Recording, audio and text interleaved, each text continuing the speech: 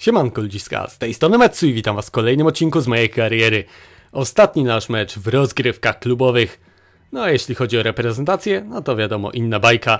Dzisiaj gramy tylko jeden mecz z Borussią Dortmund, no bo te mecze w reprezentacji zawsze robię w takiej osobnej miniserii, bo dlaczego by nie. Tutaj widzicie nasz rywal finałowy. Jak nam pójdzie, przekonamy się już niebawem. Musimy być faworytem, bo mamy lepszych piłkarzy. No mamy tak naprawdę wszystko lepsze, ale Borussia Dortmund nieprzypadkowo dotarła do tego finału, więc trzeba ich szanować. Zaczynajmy, to widowisko! Borussia rozpoczyna grę od środka, Alcacer, Royce, jeszcze tutaj ładne podanie, Alcacer, Royce, dwójkowa akcja tych piłkarzy, zagranie do środka od Sancho, Sancho pięknie tutaj ucieka skrzydłem, czy będzie centra na pole karne, tak jest, wychodzę ryzykownie, ale udaje mi się piąskować, no i nasz piłkarz, Gabriel Jesus przejmuje piłkę. Dobrze tutaj Sané, zbiega do środka, ładnie drybluje, zagrywa na skrzydło, Emerick Laporte na pole karne, Jezus! Ale kapitalnie Byrki, naprawdę interwencja stadiony świata. Sterling do środka, jeszcze tutaj Bernardo Silva, Sterling, Gabriel Jesus, Kapitalne podanie do Sterlinga, ten ma spore miejsca, by dośrodkować i tak się dzieje. Sané i Byrki ponownie. Jeszcze dobitka i ponownie Byrki. Szwajcar ma niesamowitą formę. My się nie poddajemy, mimo iż Byrki broni niesamowicie, to będziemy cały czas atakować. Jezus, złe podanie, Akanji, jeszcze tutaj błąd Marcosa Alonso, Gabriel Jesus, Bernardo Silva, Sterling, Bernardo, zaczyna taniec, Rahim Sterling, ma szansę, by dośrodkować i tak się dzieje. Sané przegrywa pojedynek tutaj niestety, ale mamy nadal piłkę Fernandinho, jeszcze De Bruyne i Byrki. Co on robi? Przechodzi samego siebie dzisiaj. Już wiem dlaczego Borussia jest w finale. Jeszcze Laporte, Kevin De Bruyne, Laporte, Sané, Laporte, Sané, Laporte, ależ sobie tutaj grają w dwójkę De Bruyne. Jest tutaj Fernandinho, Sané, Gabriel Jesus i słupek i Sterling do pustaka. Wydawało się to Gabriel Jesus może być bohaterem tego finału, a jednak nie Rahim Sterling do pustej bramki. I to on może się zapisać w historii naszego klubu, bo to jest najważniejszy moment tak naprawdę w naszej historii. Walczymy o Ligę Mistrzów. Pep Guardiola wreszcie może mieć ten puchar z naszym zespołem. To się po prostu musi udać. Borussia jednak nie chce, by nam się to udało i też mają chrapkę na puchar.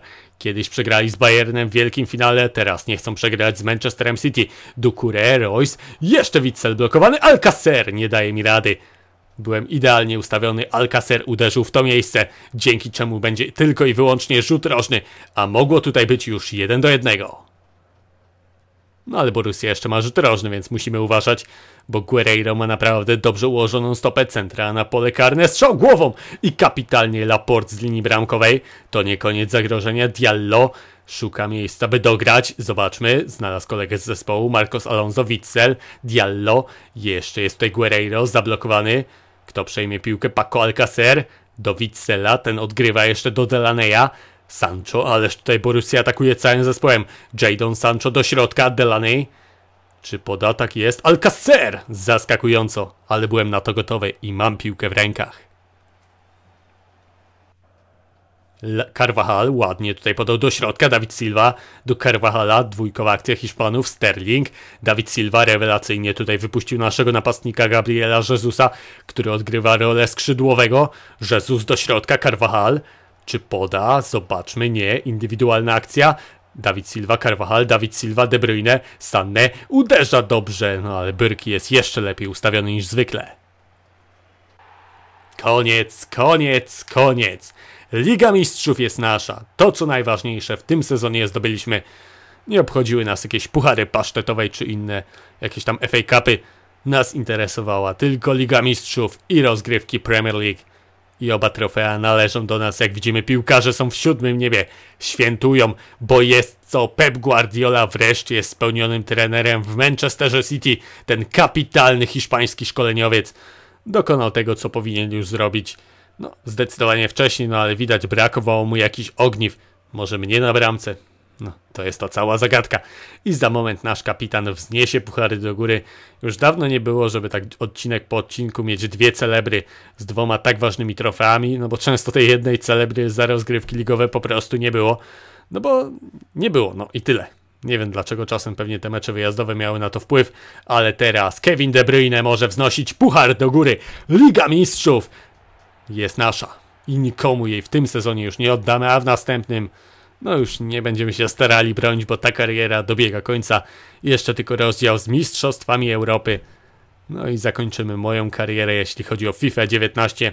FIFA 20 raczej nie planuję jej nagrywać, bo tak rok w rok robić dokładnie to samo, no to nie jest najlepsze. Przekonałem się o tym nagrywając innymi karierę Janusza Dziura w ręce w FIFA 19. W FIFA 18 to była legendarna seria, a niestety w 19 już nie miała tego statusu, bo mi się tak dobrze jej nie udało nagrać jak za pierwszym razem, bo ciężko jest akurat drugi raz coś takiego powtórzyć, jeśli chodzi o wyświetlenia. To było wręcz niemożliwe, ale moja kariera była całkiem przyjemna. Też druga w historii na moim kanale, bo jak ktoś nie wie, no to już kiedyś nagrywałem moją karierę, można sobie tam wpisać i pewnie wam się pojawi w propozycjach, no bo była dużo bardziej popularna niż ta. No ale nieważne jakie wyświetlenia, ważne też są sukcesy, a tutaj na pewno je mamy. Możemy świętować, bo puchar jest nasz i teraz szykujemy się na Euro 2020. Polska musi tam po prostu zwojować coś. Po meczu jesteśmy w miarę, w miarę, powiem szczerze, zadowoleni. Tutaj widzimy jeden strzał złapany, dwa sparowane, ocena meczowa 7,9.